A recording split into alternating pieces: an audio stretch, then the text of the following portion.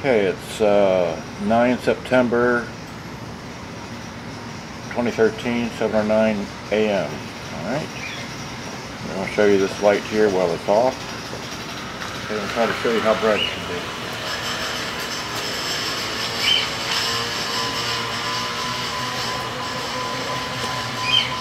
That's how bright it is there like that. And if I turn it over here to the wall and then turn the light off, you can hopefully see the difference between the light bright and dark. So here it is, off,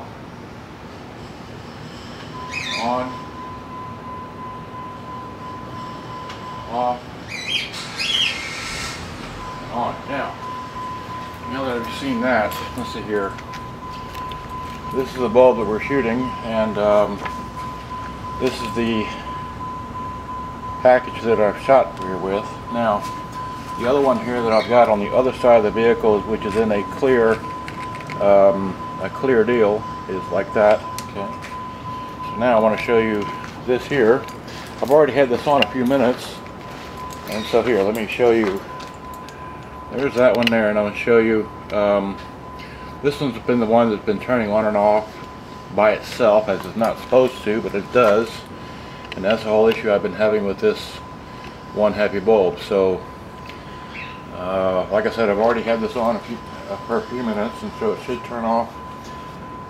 Not okay it should not turn off but it will turn off because I guess it gets too hot or something. I just don't know.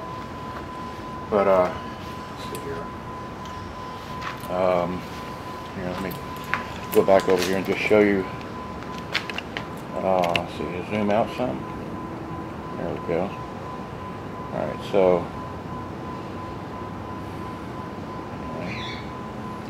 like I said, I've had this on for a few minutes, so we'll see how long it takes for the one side to go out, whereas the other side should not go out. The driver's side should not go out at all. And um, there it goes.